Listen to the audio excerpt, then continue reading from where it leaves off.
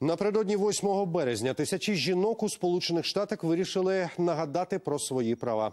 У Лос-Анджелесі влаштували масову демонстрацію. Серед активістів представниці здебільшого творчих професій вимагали рівності, зокрема щодо оплати праці. Мовляв, чоловіки отримують більше.